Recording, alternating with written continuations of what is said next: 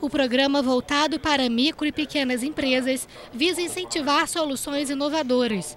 O workshop realizado em Nova Friburgo teve como objetivo apresentar o edital e orientar os interessados. Serão investidos 25 milhões de reais em projetos que podem variar de 200 mil a 650 mil reais. A proposta das agências de fomento é incentivar o desenvolvimento de produtos, serviços, insumos, equipamentos e processos inovadores em diversas áreas. Dentre os temas propostos pelo programa estão tecnologias que apresentem potencial para alterar a rotina, através da inserção de novos produtos no mercado. Os projetos submetidos podem contemplar também a realização de obras e instalações físicas, desde que diretamente relacionadas com a proposta.